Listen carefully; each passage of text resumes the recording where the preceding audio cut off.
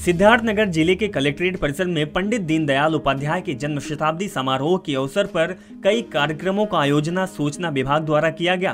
प्रदेश के आबकारी मंत्री जय प्रताप सिंह ने दीप प्रज्वलन कर दीनदयाल उपाध्याय के जन्म शताब्दी के अवसर पर आयोजित गोष्ठी और प्रदर्शनी का शुभारंभ किया।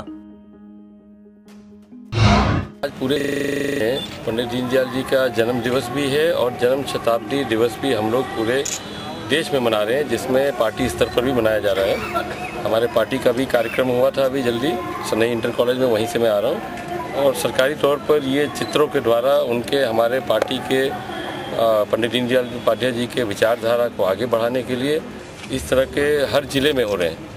तो इसी कार्यक्रम के लिए मैं आया था सूचना विभाग की तरफ़ से प्रदर्शनी में पंडित दीनदयाल उपाध्याय के चित्रों के साथ देश के प्रधानमंत्री और प्रदेश के मुख्यमंत्री के भी चित्र लगाए गए। मंत्री ने प्रदर्शनी का अवलोकन किया। इस दौरान जिलाधिकारी, पुलिस अधीक्षक सहित ज़िले के सभी अधिकारी और बीजेपी के जिलाध्यक्ष भी मौजूद रहे।